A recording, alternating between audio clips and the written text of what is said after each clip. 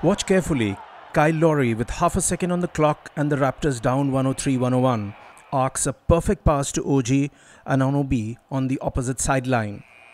OG calm fires in the three pointer as Raptors narrowed the deficit in the best of seven Eastern Conference semi final series to 2 1.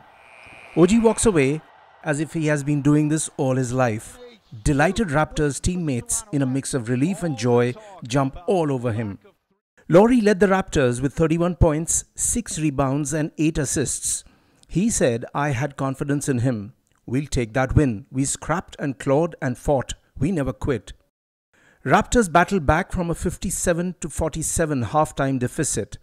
The fourth quarter saw seven lead changes.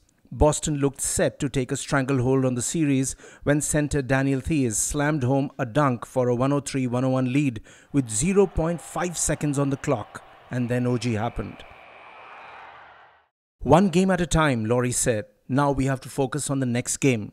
Boston Celtics lead 2 1 in the seven game series.